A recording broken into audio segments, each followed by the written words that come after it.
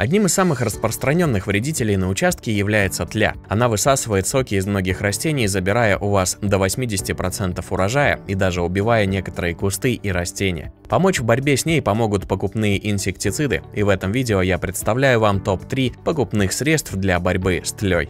Фитоверм – это биологический инсектицид, который не наносит никакого ущерба растениям и плодам. Это средство нового поколения, основным действующим веществом которого является натуральный нейротоксин аверсектин С.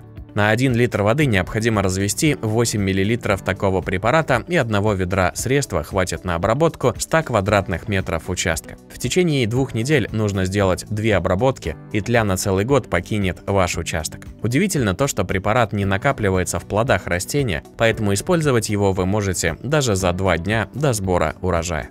И еще один препарат Алатар. Он является двухкомпонентным инсектицидом, который используется и для овощных, и для плодовых культур, и помогает бороться с целым рядом насекомых, в том числе и с тлей. Он состоит из малатиона и циперметрина. Для приготовления раствора для опрыскивания нужно смешать 5 мл препарата на одно ведро воды. Одного-двух литров вполне хватит для обработки 10 квадратных метров участка. Срок ожидания до сбора урожая не менее 20 суток.